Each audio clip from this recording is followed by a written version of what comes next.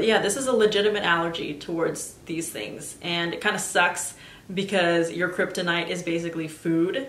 Really good food too, not just like hazelnuts, you know? Like if it was one thing, I'd be like, oh, okay, that's easy to cut out, but multiple stuff, all types of food, you can't eat that. Yeah, it was really tough. Hello everybody and welcome back to my channel. Today we are going to talk about how I found out I was allergic to gluten, to soy. Hold up, let me get my paper really quick. Okay, here we go. Mainly gluten and soy, but um, apparently when I took that allergen test, that allergist came back and he was like, okay, soy, wheat, hazelnut, tuna, banana, cantaloupe, lima bean, strawberry string bean, tomato. I think we put tuna. Oh, tuna. Yeah, so there was just a lot of things that all of a sudden popped up out of the blue when I was still in college and that was way back in 2017. I was a college student and I have a history of eczema ever since I was a child. And when I was a child, it kind of started out behind my knees, behind my elbows, inside my elbows, and that was it. Then high school came and it started popping up on my hands.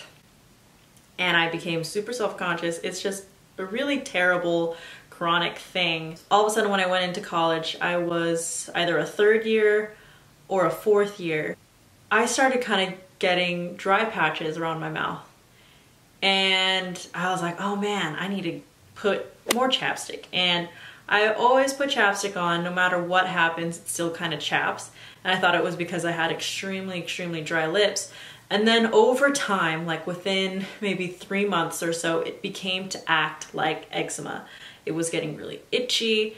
It started hurting whenever I would kind of like open my mouth. Things would like split open, just absolutely uncomfortable, terrible. Um, ways that eczema usually acts, but this time it was on my face.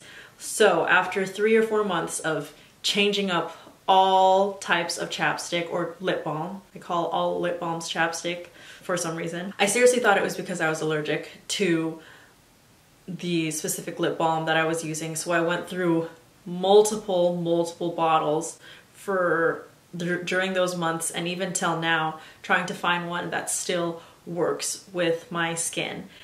So eventually it got to a point where I said, you know what, I cannot take this anymore. I don't want to be putting those steroid creams on my face because it will thin out your skin. And I already am just like a very delicate creature. So I didn't want to interrupt whatever was happening on my face and all of a sudden make it worse. So I went to the doctor and they said, yep, that's eczema on your face. We need to refer you to an allergist and I went to the allergist, they did the back test. So what they have you do is you kind of like take off everything. They give you the that doctor blouse that kind of just covers up your, your um, and only your back is showing. So they prick you with multiple allergens and they see if you have a reaction to it and they usually wait between maybe 10 to 20 minutes. After that time has elapsed, they'll come back and then the nurse will make note of what your skin is reacting to, whether it's starting to itch or whether it kind of like starts to form like a little bit of a bump. That's how they know, or maybe it's red. That's how they know that you have some type of reaction to it. So I didn't feel itchy at all when they were doing the test, but all of a sudden the doctor came back honestly didn't like this doctor. He was way too blase, I think that's the word for it. He was way too kind of not compassionate when he was telling me these things, which I don't expect a lot of people to, but when you're a doctor and you're kind of delivering life-changing news, I would hope that there's some kind of like, I don't know, empathy or sympathy or feeling of, okay, this is gonna be a tough journey for you, blah, blah, blah, blah. So anyways, casually walks into the room, pulls up his paper, puts on his glasses, and he goes, all right, you're allergic to wheat and soy and tomatoes and everything else that I said at the beginning of the video. And he basically said, just don't, don't eat them anymore. Don't, don't eat them anymore. Okay. And I was staring at him like, okay, uh, that's some pretty big news. Like, isn't gluten or wheat in everything? He said, yeah, can't, can't, can't eat those.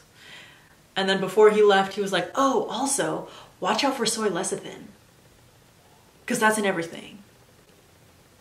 And I, I sat there, my gown still on, and then he closes the door and I like put my stuff back and I'm just like, okay, I just got a huge, apparently life-changing stuff, but there was, but there wasn't like, I was so shocked. I guess I was also in a state of denial where I felt that I didn't have to take it too seriously. I don't know if that makes sense, but I just, I was in this state of denial where I was like, I can't all of a sudden just cut off gluten and soy. First of all, one of my favorite, favorite foods in the world is Italian food. That's pizza, that's pasta. Um, and then I'm also, I absolutely love, love almost every type of Asian food. I absolutely love Asian food. I'm, I'm a Filipino. We use soy in some of our in our dishes, but I mean, come on, sushi, Korean food. I mean, Japanese food that with like ramen and sushi, Korean food with Korean barbecue and also ramen and a ton of these things.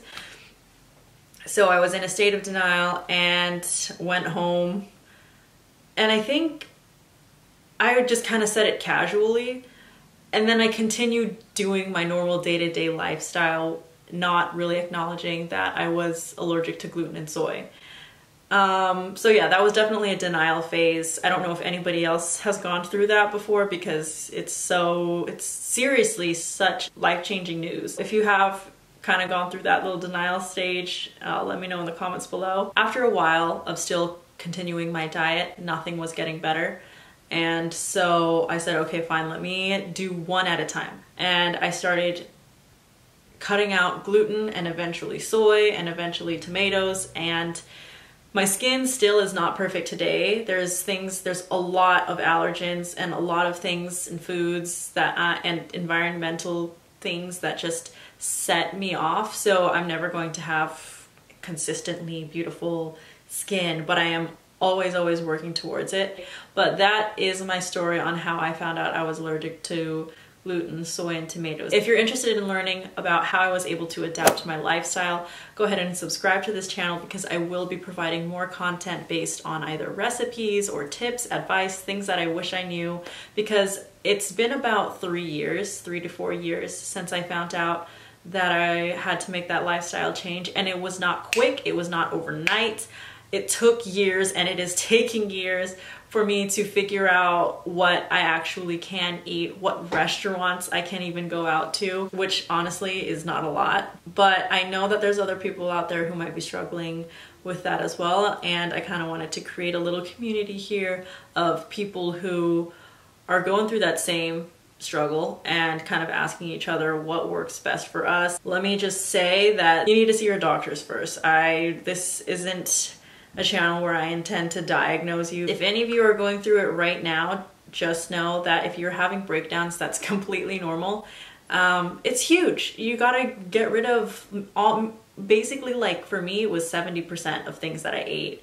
And it was hard because you know, it was a huge change for my family too. I couldn't just eat what they would eat. They had to learn my recipes if they wanted to cook for me or if I wasn't able to cook for myself you know, it was just a lot of things that would happen that a lot of things would happen where occasionally I would look at myself and all and I was breaking out and I would just feel absolutely horrible. Even if I was eating the best diet ever, it was still terrible, horrible feeling. So if you're going through that yourself, just know that you are not alone and you can always talk to me uh, message me on my Instagram at MISS underscore underscore nacional. So if you're interested in learning more about how I was able to replace these types of foods, what my favorite types of replacements are probably if you want to see some recipes which I'm very excited to share with some of you let me know in the comments below and if you haven't already hit that subscribe button and I will see you all in the next video. Bye everyone